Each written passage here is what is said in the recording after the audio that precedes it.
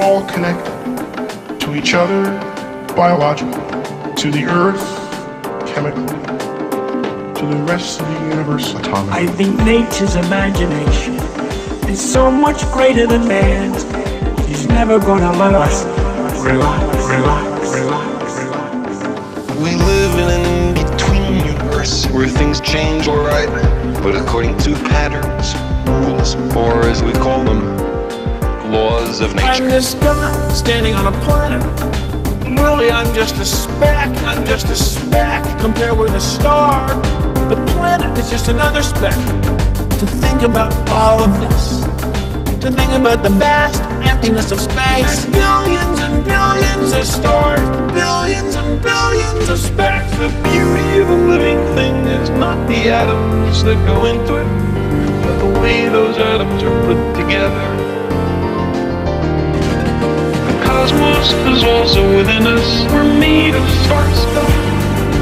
We are a way for the cosmos to know itself. Across the sea of space, the stars are other sun. We've traveled this way before, and there is much to be learned. We're all connected to each other biologically, to the earth chemically, to the rest of the universe I find it elevating and exhilarating to discover that we live in a universe which permits the evolution of molecular machines as intricate and subtle as we.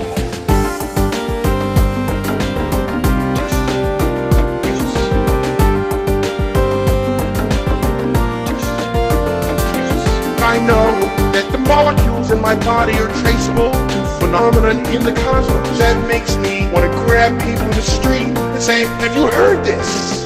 The beauty of a living thing is not the atoms that go into it, but the way those atoms are put together.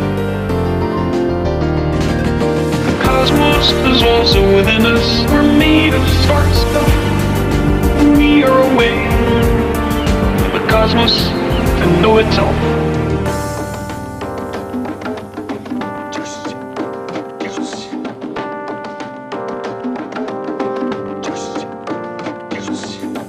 There's this tremendous mass of waves all over in space, which is the light bouncing around the room, going from one thing to the other, and it's all really there, really, really there. But you gotta stop and think about it, about the complexity to really get the pleasure. It's all really